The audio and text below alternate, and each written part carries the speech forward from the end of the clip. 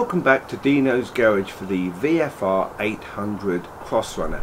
Now as you may remember last time out we vinyl wrapped both the left hand and right hand panels um, but there are still a few little details that need to be tackled some of which I've already done so let's have a look around this VFR 800 now and see what we've done and what there is still left to do. So one of the things I wanted to do was to actually change the original screen. When I rode the bike a couple of times um, I noticed that the, the wind did come over the top of the screen and was sort of buffeting around the right hand side of my crash helmet it was a bit frustrating you know at speed and a bit noisy so I've actually acquired this brand new screen for the bike um, and it's a really nice screen so let's have a little look at this close up now. So as you can see it's made by a company branded as Ermax or ER Max. Um, really nice in the sense that it's black on this lower section here. Um, got a vent that runs up through. It's also got the sort of same type of vent that runs through on our standard one. So yeah the air pushes up through there and up through there as well as. And uh, yeah let's have a look. So a really nice finish um, and just that bit higher than the standard bike. So as you can see it sort of scoops up there and pushes the air right over above your head. Um, yeah I'd probably describe it as a, a touring screen. I really like the look of that. And I also like these these bits here this this shape here. Uh, again the air will flow up through and around there but I think it just adds a little bit of detail to it as well that actually makes it look that bit different to some of the other sort of a bit uglier if you like sort of sports screens. So that's one of the first things that we've done. Now let's look at something else. Now one of the other issues we had was with this tank. Now in pearlescent white, lovely paint, but we had unfortunately had some marks um, at the, the front of the tank from where the seat meets the tank and probably from the uh, police jacket or whatever. It was just to remind you this was a police bike in Guernsey. So yeah, let's just have a look at what it looked like and as you can see yeah there are those marks there that's basically where the lacquer has sort of been slightly chipped or rubbed off scratched off the surface of the paint so didn't leave it looking too nice so let's now have a look at what I have done to basically get rid of that problem. And so here it is. Basically a lovely tank protector. Now this is the jowl type tank protector, um, fairly thick, not just like a sticker, um, goes on really nicely. Now what I did do was made sure that I cleaned the tank and warmed up that um, two part sticker um, before putting it down on there. Got out any air bubbles with a bit of rag. Yeah, really happy with that. So again, another detail, but you know all these things add up to making the bike look really nice again rather than sort of what it was which was a little bit abused a little bit abused right now whilst we want to get those vinyl wrapped parts back on the bike actually there is something that we need to tackle down here whilst they're off so let's get down and have a look at what we're talking about Right, now what I am referring to is actually this cam cover here. Now what happens is the rain and the salts splash up in the winter time and it gets onto top of this part here and unless it's washed off and dealt with very quickly over time unfortunately the salt will eat into any paintwork and even any sort of metals eventually that are in this section here so we do have a bit of corrosion as we saw before on the radiator sections, the coolant part of the bike. Um, but today I'm going to tackle this bit here. So I'm going to basically rub off the paint that's loose and then we're going to look to try and mask off the bike and then get some spray paint on this section so it all looks nice before we then put the side panels back on. Because once the side panels are back on they do cover a, an area of this that will not be seen. Um, so yeah it's much easier to do it now. So what am I going to use to try and tackle this? Well I do have a very small wire brush with just uh, brass bristles on it so it's not too harsh not like a steel wire brush. These are a bit softer. Um, and I also have which we use many many times over in so many different ways of cleaning up and sorting out bikes um, some nice fine wire wool. So may not use the fine wire wool. I'm going to start with this and then just see how how loose and flaky this paint is and so there we go. That is it. Pretty much all the loose paint taken off with that brass wire brush. And you can see there's quite a lot of metal exposed now. So I'm going to clean that up make sure there's no loose debris on it. Maybe even get a little bit of wire wool on the the paint that we can see in a few places that isn't loose just to really put some um, sort of scratches into the surface of that. So when I do spray lightly over um, it, it obviously sticks to that paint as well as um, like I say this isn't about perfection but this is about really just sort of getting up and spraying into this area having masked off. I'm going to be careful today because there's a little bit of breeze and wind so we'll back this into the garage and we'll do it in there um, but it's about sort of getting the paint over this in very light thin coats just so it looks nice from you know this sort of distance.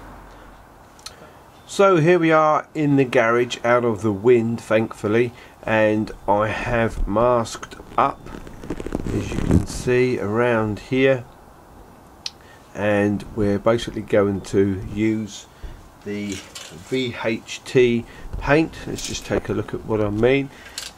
So we're going to be using this. It's called VHT which is very high temperature black paint. And this is a sort of matte satin type finish. Um, the reason I'm using this is obviously the cam cover does get very hot it's also you know above the exhaust system. So yeah a lot of high temperature in and around that area. So this is a paint I'm going to be using. Um, um, so yeah I'll get on and we'll see what it looks like once I've finished. So hopefully you can see in there that I have already painted. Um, done a couple of coats now. So it is a very matte finish which actually looks really nice in there. Um, yeah hopefully you can see that. Um, I have also masking off the radiator here and you can see I've masked off both the stanchions and up under this side. I have also whilst this has been masked and that's been curing um, I've sprayed a bit of gloss black paint up underneath here because we have these very rusty looking iron um, uh, lower yoke clamps and, and basically they they started to get all sort of rusty looking. They don't have much protection of paint on them so I've got up underneath there and just oversprayed with a little bit of gloss black just to tidy that up as well. And so we've painted both the cam cover and also as I say we painted a little bit of gloss paint up onto those sort of rusty looking iron lower yokes. So let's have a closer look now and see what we've done and so there we are. That is the top of the cam cover now all painted in that matte black very high temperature paint. So that's all sorted. We got three coats thin coats of paint on that area there. So that's and so if you can just make out in this light there's no longer any rusty looking paintwork on that area there that all looks nice and glossy and black. And when we look down here excuse me because I've disconnected the camera from the tripod so we're on walkabout. That is how our head now looks the cam cover. So looks really nice. No flaky paint whatsoever. And hopefully that will hold up um, the way this paint cures it, it will cure after about 10 hours naturally. You can speed up the process by actually running the engine and allowing it to cure that way. Personally I prefer it to cure naturally and then once you go out on the bike it will heat up and also help harden and cure the paint. So that's that.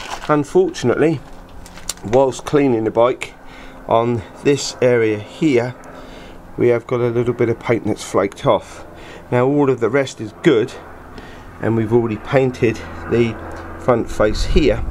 So what I'm actually going to do is I'm just going to rub this little bit of flaky paint off and I'll get in here with a brush and spray some paint into the cap and then just apply it with a brush just to tidy that up and help protect it. But as you can see moisture's got underneath and it's sort of blown the alloy of the cam cover um, and that's why you see all of that sort of white powdery look to it. And that's why it, it, expanded and blistered and blew the paint off. So I'm going to get in there and just make that look that much better with a brush and some paint. Right so now we've done that painting down there on that cam cover and also that lower yoke we can get on and think about putting the side panels back on the bike. But before we do that we need to spend a little bit of time cleaning the frame and cleaning any area around here where once the side, panels back on that won't be seen. But you know we might as well take the opportunity to clean it and make it good now because let's be honest once that side panel's back on we're probably not going to take that off unless we ever need to take the tank off. So let's get on and do a little bit of that now then we can put the side panels back on so these are the areas that I'm talking about that you once the plastics are over the top of all of this you can't get in and polish properly. All of this is covered over. We do have a little bit of surface rust here and I'll put a little bit of Kurust on that there where the paint's actually broken away because of the the rust. But like I say you won't really get the opportunity to do that once it's all on because it'll all be covered over and it comes down to here. This is why there's a little bit of wear on the frame. So again I've cleaned out bit of the frame and that's it really. Just a little bit of prep before we click that back into place. Right so I finally got it on and it it was a bit of a pig to be honest because it's all to do with these three locating sort of clips that go into this black plastic bit behind here. So you can't see what you're doing. You have to sort of slide it onto this bit here. Make sure this tab is on your tank already. And then as you push it forward these three locating pins drop into slots. And then as you push forward they sort of lock in position. But I couldn't get the last one right up front to locate. So I really had to put some pressure on this back corner to get it to push up and then finally it dropped in. And then you have also a little um, sort of expanding plug type connector that goes in behind here and holds that in place. And then you connect all of your black trim onto the back of this section here. Um, and with that in there that is it. And you've got one one fixing on there. So that's that in place. I just now need to put the fixings on there. Let's have a, a quick look at how it looks from another angle. So there it is with the the white panel the vinyl wrapped panel now on the bike.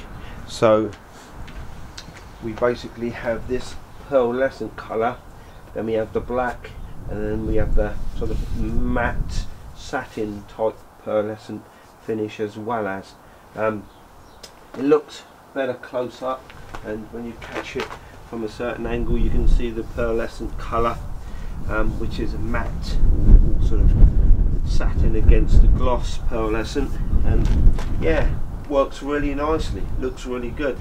Um, I hope you agree but it certainly looks better than having three holes in this section here.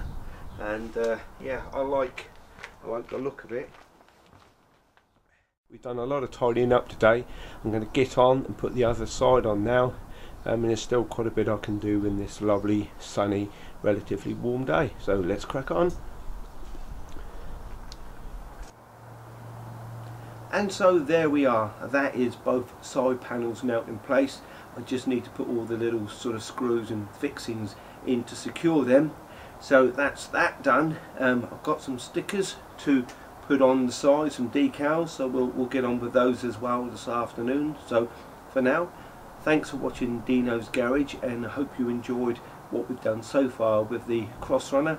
Um, stay tuned and thanks for watching and please subscribe to my channel